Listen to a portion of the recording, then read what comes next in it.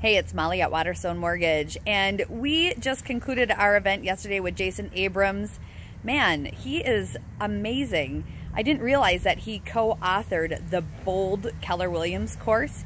It's a eight-week lead gen course that um, really causes a lot of activity and closings for agents. So that was super fun. He was amazing at scripts, and I'm attaching a script for connecting with past clients. Um, honestly, I think past clients is one of my favorite places to visit.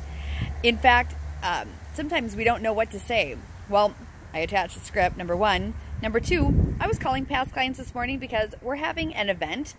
Um, I have an estate firm that comes in and teaches on wills and trusts. So important.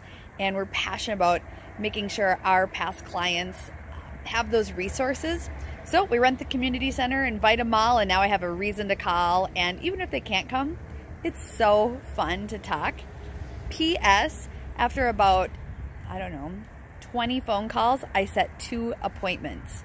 Um, so I will encourage you pick up the phone, have an event, call your past clients. These are people that already know you and love you, and they'll be excited to hear from you.